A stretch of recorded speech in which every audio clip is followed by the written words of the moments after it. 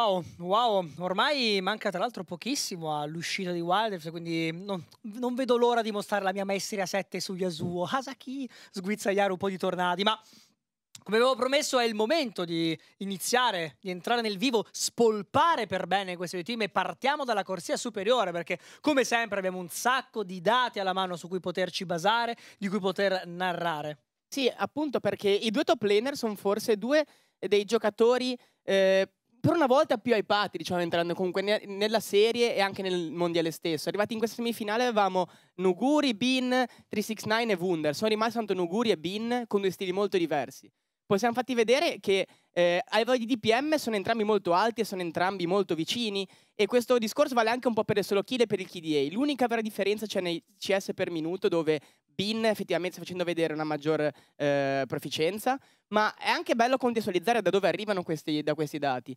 Se pensiamo al dato di Nuguri, del danno per minuto ad esempio, è assurdo pensare come questi dati arrivino da campioni, su campioni giocati con molto più verso il team che verso la dominanza di lane, la dominanza della side lane. Abbiamo visto danni assurdi anche con Orn, con altri top laner più grossi, diciamo, rispetto magari a quelli che sono i classici fighter, che invece vengono presentati da Bin, dove primo per danno per minuto, ma con tanti game di Jax, tanti game comunque con campioni che possono portare effettivamente quel danno all'interno delle dei fight, quindi va contestualizzata questa cosa e va fatto notare come Nuguri abbia delle statistiche altissime nonostante appunto questo ruolo da teamfight top laner.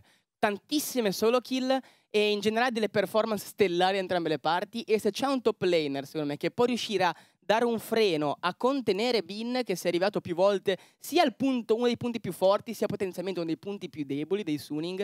Se c'è qualcuno che può tenerlo a bada che può mettergli una muserola e può dirgli oggi è giornata quello potrebbe essere effettivamente Nuguri e se poi vogliamo anche mh, parlare della laning phase così aggressiva di Bin stesso e di quanto Nuguri più volte si sia eh, un po' fatto conoscere per il suo 0-2 power spike e comunque per la eh, la tendenza a andare indietro anche in termini di eh, magari non rispettare quel trade o quella possibilità di kill e dare quella, quella prima kill, nonostante sia il primo in vantaggio in termini di solo kill, penso che oggi Bin sia lì proprio per eh, recuperare un po' su questi numeri e farsi valere soprattutto in quella laning phase, anche perché poi in teamfight abbiamo visto come Nuguri sia fondamentale e anche uno, uno dei migliori qui.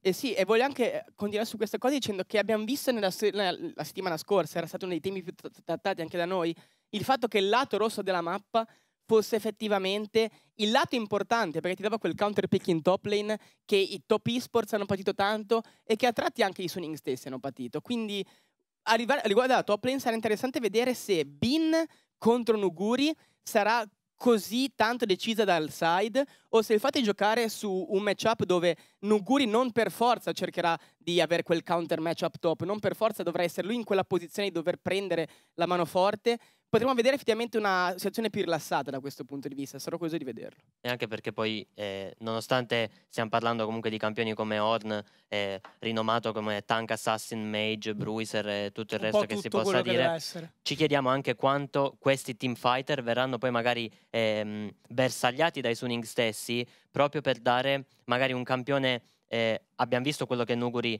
può dare su un team fighter, ma quanto può dare al team nemico con quel game di Fiora o sì, magari esatto. una laning phase più debole come quella di Camille, che è qualcosa che Bin può eh, sfruttare a suo vantaggio e rendere quella partita un po' più Suning favorite, mm-hmm. appunto. Sì, anche perché c'è da dire che comunque i diversi pick in ogni caso che compongono il loro champion pool. Bean ha avuto delle fantastiche performance su questo Jax. Vorrei vedere effettivamente da parte anche dei Damon magari eh, riuscire a contenere la potenza di questo Jax perché è stato più che rilevante in quelle ultime partite, soprattutto contro i Tez.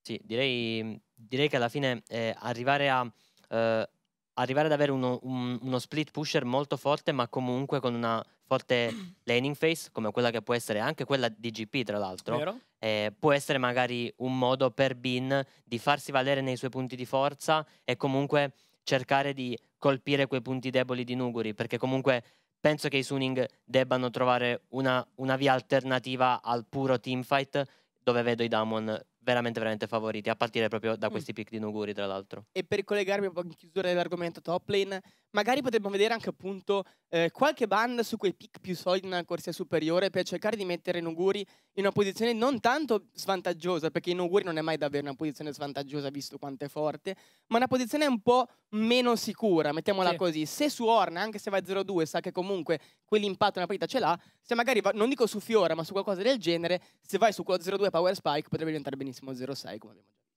Vedremo, vedremo durante queste partite, sì, mi auguro più di tre, un po' come tutti quanti.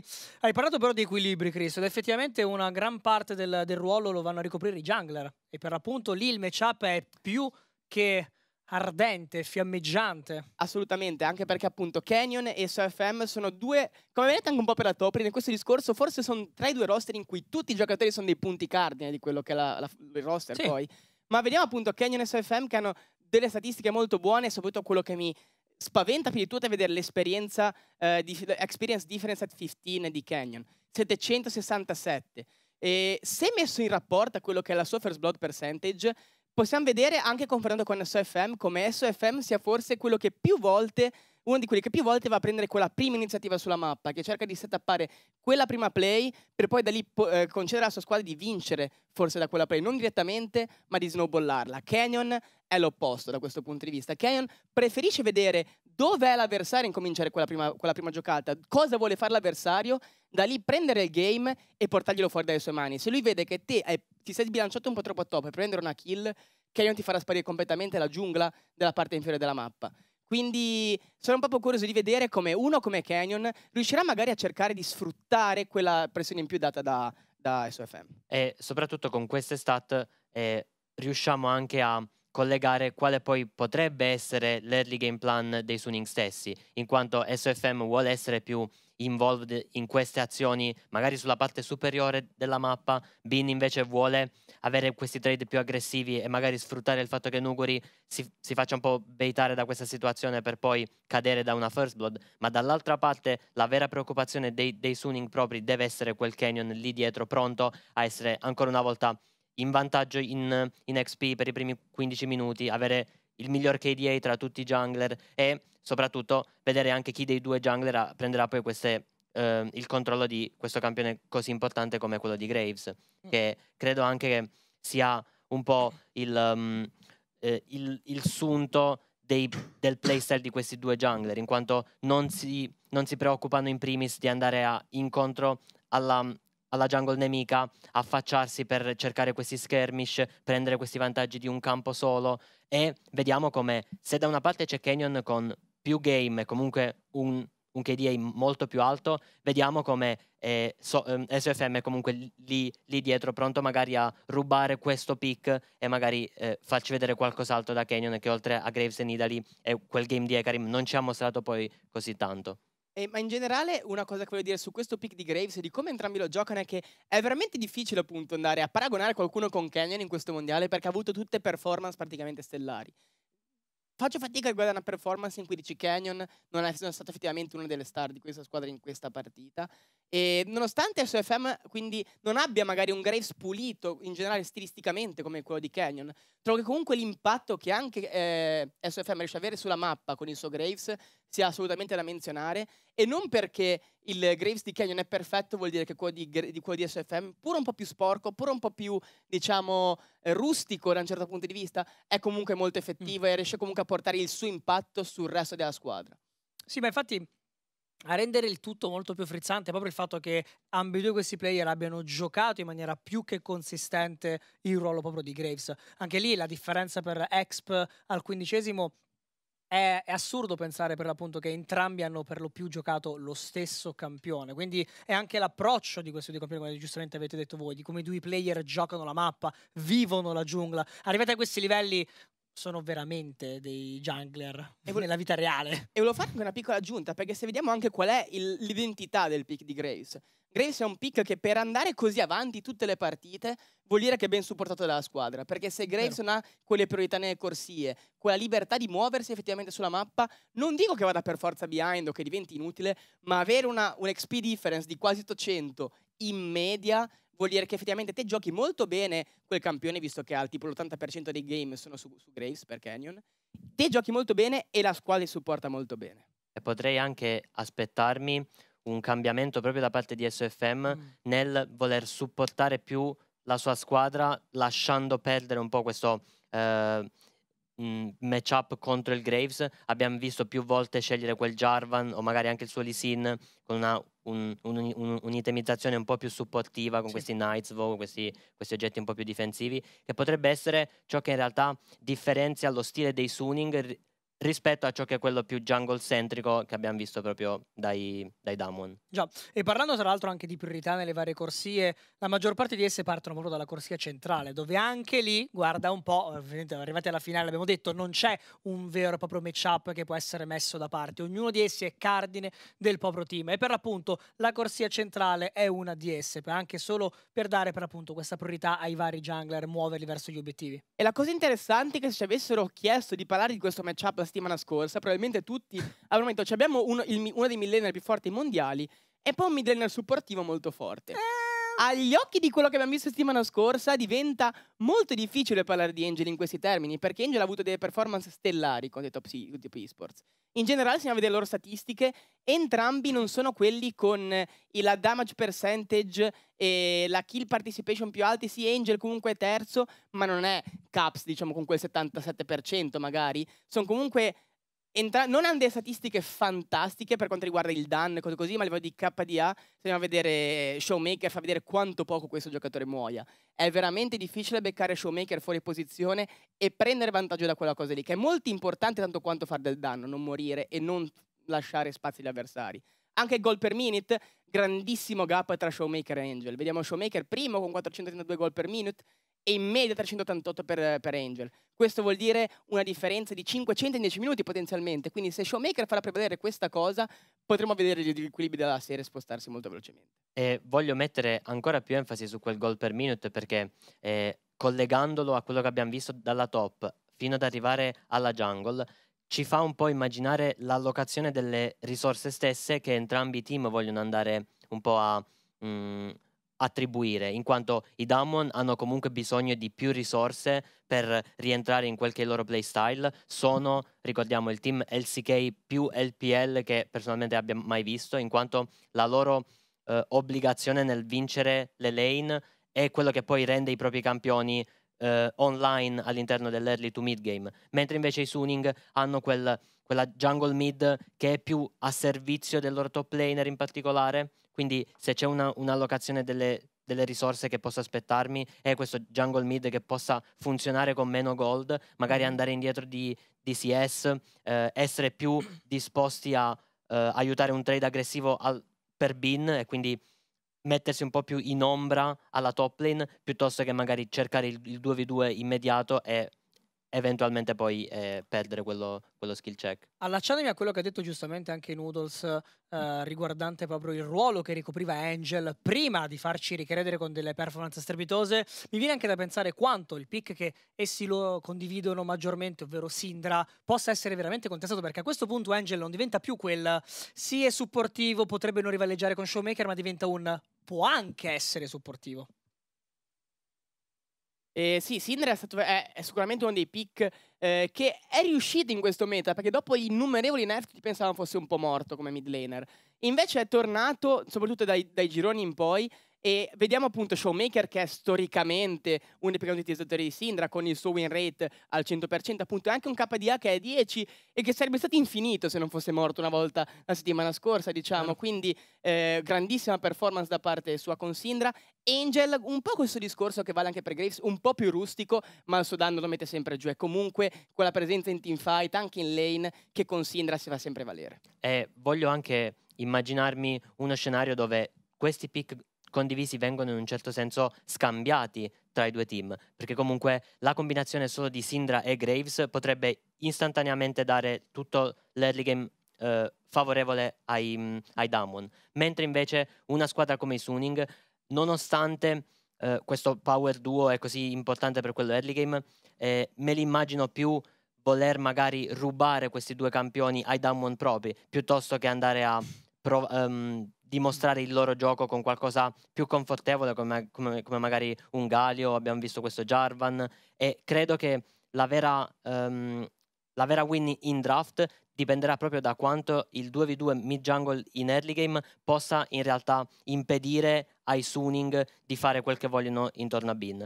Sì, diciamo che vedere campioni come Galio e qualcos'altro di più supportivo in una finale dei mondiali, magari su dei player di questo calibro, non è proprio quello che vorresti, quello che ti aspetteresti. Aspettiamo sempre un po' di magia e spettacolo. Yeah. E di magia e spettacolo arriva anche dalla corsa inferiore, dove per l'appunto gli Eddie Carry sono un po' quelli che generalmente ci si aspetta le giocate più pazzesche. Ormai si sta portando avanti questa dinastia del flash avanti per poter essere il più aggressivo possibile, poter rincorrere la kill. Gli Eddie Carry in mezzo ai teamfight che lanciano addirittura la pistola pur di fare quanto più danno possibile, oltre a tutto il resto dell'equipe.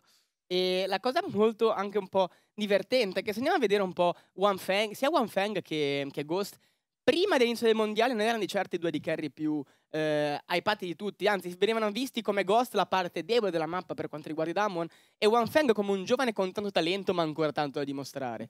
E se andiamo a vedere invece le statistiche in game di questi due giocatori, i CS per minutes di One Fang sono incredibili. Riuscire a mantenere una, un, CS, un, CS, per minute così alto in delle serie come quelle giocate dai Sunning. Ricordiamo che non sono serie a ritmo lento, dove hai il tempo di farmare, di farti alto lane molto tranquillo. Una, sono serie veloci, sono partite veloci, in cui tu devi essere pronto a fare giocate proattive sulla mappa in ogni parte e mantenere un CS per minute così alto è veramente incredibile. In generale entrambi molto bassi di morti e per quanto riguarda il KDA entrambi comunque fanno vedere di essere molto molto proficienti, di morire poco e morire bene, tranne qualche int da parte di One Fang.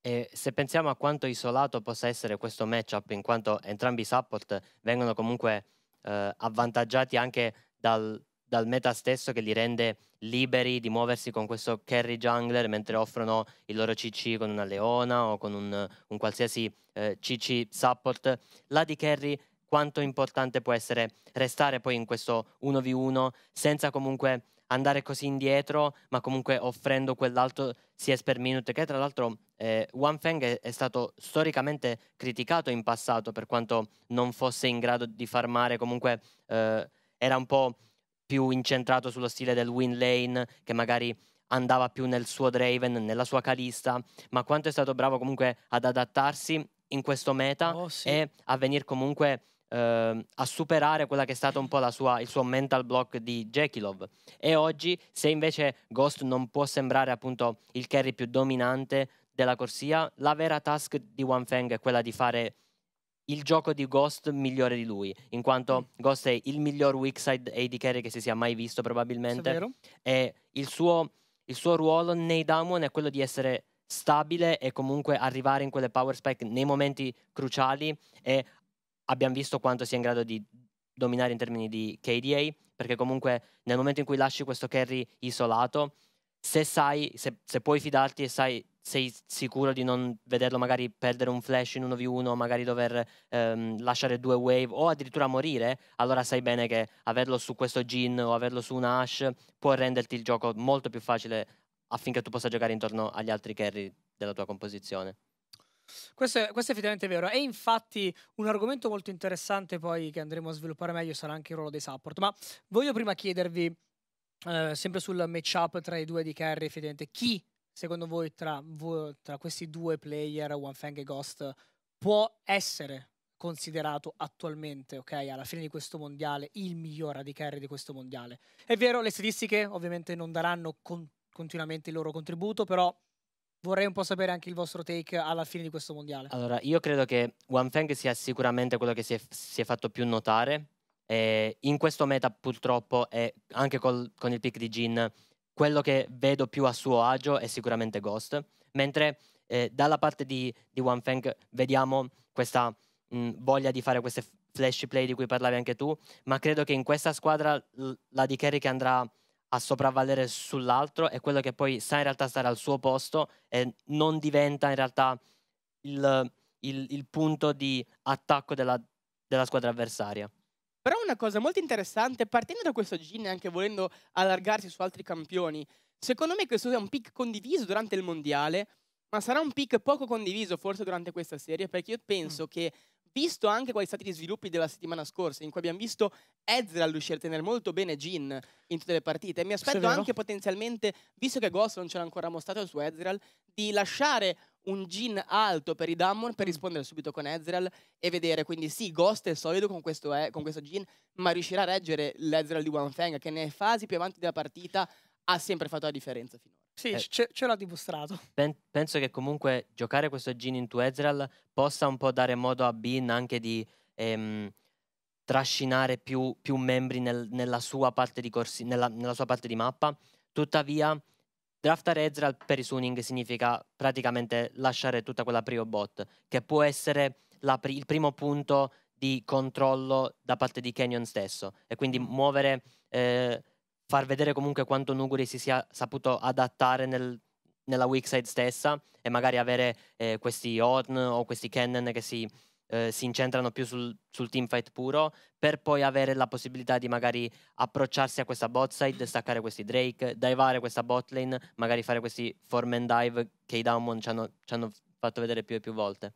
Infatti, uh, mentre parlavamo per appunto di weak side, uh, di come uh, alcuni potessero essere, alcuni di questi campioni potrebbero, potessero essere tranquillamente più supportivi nel ruolo della D carry, si va quindi poi a scattare nella zona support, dove effettivamente avere magari un Ezreal o un campione un pochino più supportivo può effettivamente mettere poi nelle mani del supporto qualcuno di un pochino più aggressivo, operativo, anche in termini di roaming. Esattamente, infatti i due support che sono arrivati in finale paradossalmente sono quelli che più si comportano a secondo jungler in questo torneo. Fanno, girano tanto per la mappa e questa cosa viene evidenziata da una delle statistiche più importanti, seppur sottovalutate, che sono l'XP difference at, uh, at 15. Entrambi hanno un'XP difference at 15 negativa. Perché?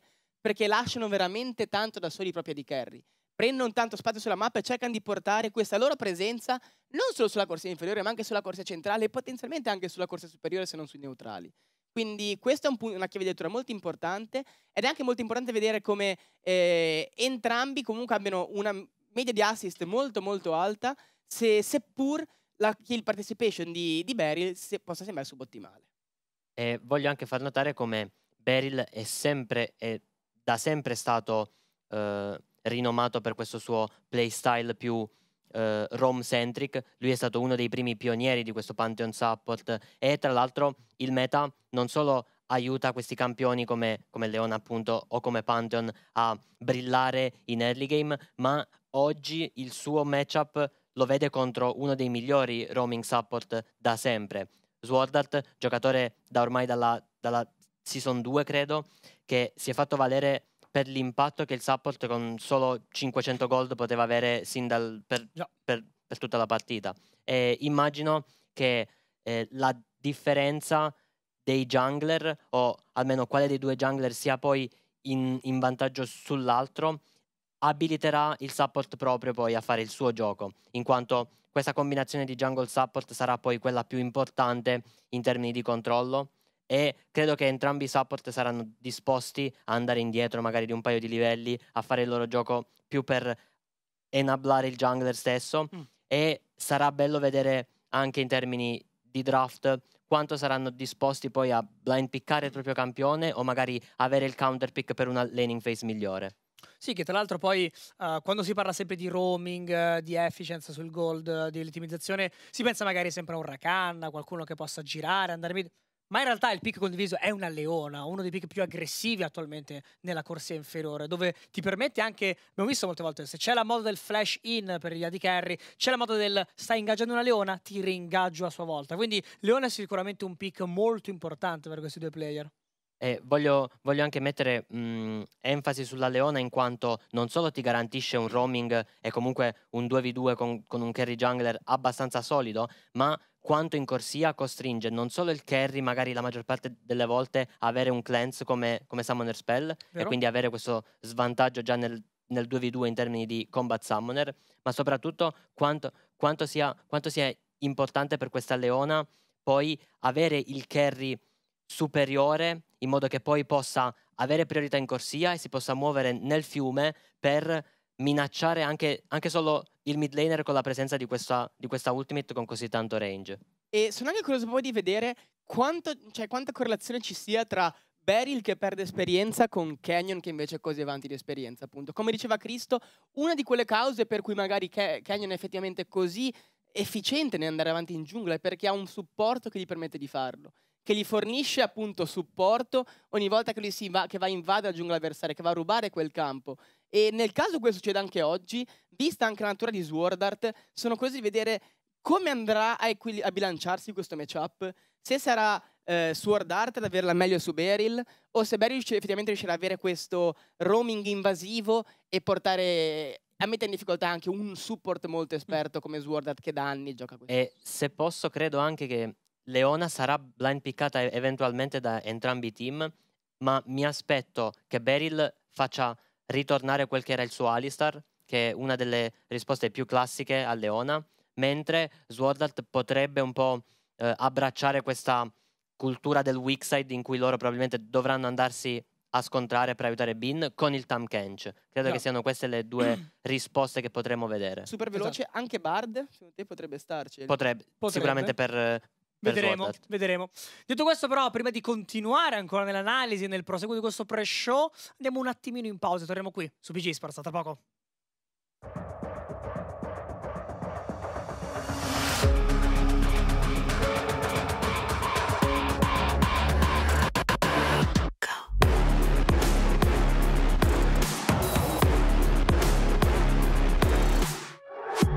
Top again, I would the crown, but count us higher than a mountain.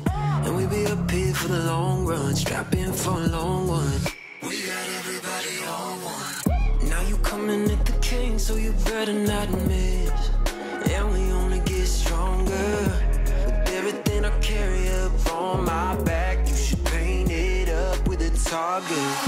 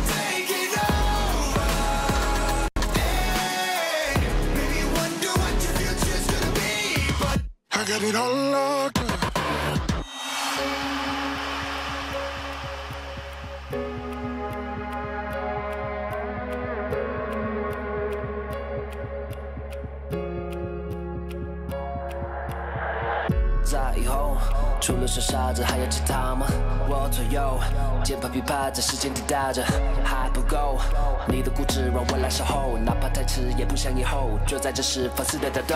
I got the heart of a lion, I know the harder you climb, the harder you fall.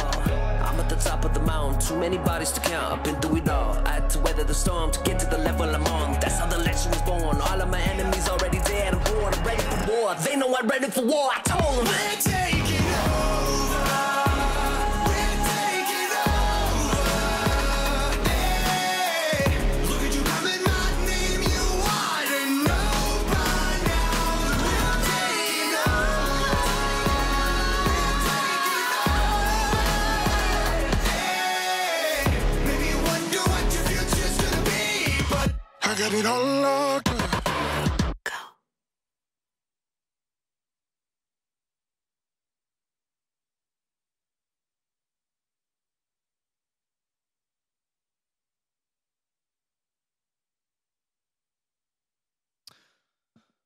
Wow, wow, eccoci qua finalmente ben ritrovati qui su canale di PG Sports all'Analyst Desk, il più bello d'Italia. Siamo tornati nuovamente di Noise, Noodles, Coach Cristo. Wow, questo è un viale de- verso l'hype della finale. Non, non sto più nella pelle, ma ho una confessione da fare. Vi ho mentito, ho mentito a tutti quanti. L'analisi non era la parte più succulenta, non era la parte che tutti aspettavate. Questa è la parte che tutti quanti aspettavate. La parte in cui abbiamo imposto, soggiogato e forzato la mano ai nostri analyst per creare, secondo loro, il predict massimo delle skin di chi vincerà questa finale. Allora, da LCK Enthusiast prevedo i Damwon vittoriosi Ok. e come non aspettarsi appunto un, un Damwon Cannon. Eh, Mm. credo che Nuguri eh, Ah, ci mostrerà questo- questa sua scelta di Cannon. e voglio comunque mettere questa enfasi sul, um, su quanto Cannon stia indossando una maschera. E mentre questo è Damwon Wow, Pantheon, wow, dall'altro, eh, wow. per chi non lo sapesse, i Damwon sono appunto sponsorizzati da dei monitor Damwon, quindi quello non è nient'altro che un monitor. A maggior ragione. E penso che Pantheon, essendo Beryl appunto, diciamo così, famoso per aver creato Pantheon, quale maestro, chance per... ma- maestro, mi illumini, maestro, mi illumini perché ma il dentino molto anime style è una chicca Sì, di cre- una eh, certa elevatura. Sì, sì, sì, è, è stato più una scelta Ma artistica. Van Gogh, cioè che, che è l'ispirazione da dove è arrivata? Anime a caso. tardo anime realismo. Sì. Interessante. Mentre invece la parte del monitor, devo essere sincero, è stato qualcosa di una la chicca tastiera per nell'altra mano, La tastiera nell'altra mano. Poi però ci sono dei riferimenti culturali anche alla Scozia. Ho visto un kilt più o meno per Pantheon, non solo il kit, ma anche i, i famosi piedi di Pantheon Release, che Un- appunto erano. Pantheon Release eh, eh, era, erano tra l'altro Pantheon è uno dei miei primi main eh, al fianco di Ah. Renekton, quindi ho apprezzato, ho apprezzato i piedi giganti in texture, belli. Passiamo invece ai tuoi, perché lui che sorride, però in realtà vuoi vedere lui cosa ha portato. Allora, io essendo... Maestro. Allora, volendo i- che i Suning vendichino un po' quello che sta la nostra sconfitta, io ho fatto le skin per i Suning, è iniziato con un Galio, che però è più un Leonli, ho visto il tema, essendo i Suning dei leoni. E qualcuno potrebbe chiedermi, ma perché eh, Noodles l'hai messo così laterale? Perché sta per ultare, quindi poi fa l'entrata dell'eroe. E questo invece è il mio Rafiki Wukong, su cui io mi sono impegnato tantissimo, devo dire. Questo è stato perché il Re Leone ha Rafiki come scimmia, Wukong è una scimmia, l'hanno giocato la settimana scorsa, Leone, Re Leone, Wukong, Rafiki, perché no? È stata questa la domanda. Io non ce la faccio, non posso continuare. Io esco, Maria, io esco. Ma Rafiki, ma come ti è Rafiki, venuto in eh, mente? Quei collegamenti che fai alle tre la del faccia mattino. di Galio mi ricorda tantissimo un attore che ha fatto Cattivi Vicini, quello con Zac Efron, Ok. l'altro, ha la faccia uguale, ha pure la stessa barba, ma vabbè, tolto quello, Rafiki, geniale, sono combattuto, poi vi darò in privato poi il voto, Grazie. il voto, wow, wow, sto, sto piangendo, sto piangendo, eh, fenomenale. Anche questo all'analyst, anche questo all'analyst desk. In ogni caso, eh, quindi, beh, giustamente Suning per il buon Noodles, eh, Coach Cristo per i Damwon. Io però chiamerei effettivamente ehm, un po' quello che è l'entusiasmo che sta accompagnando i mondiali, queste skin pratiche e di fatti ehm, come sempre ringraziamento anche a tutti quelli che ci stanno seguendo da casa, il vostro entusiasmo, il vostro supporto, nonostante eh, il momento che tutti quanti stiamo vivendo con il Covid, tutte le difficoltà. Riot comunque è riuscito a mettere in piedi un grandissimo spettacolo, un grandissimo mondiale e soprattutto so che voi ci date continuamente il vostro contributo con stories, insomma è un cammino che affrontiamo insieme e che ci gustiamo insieme tra l'altro.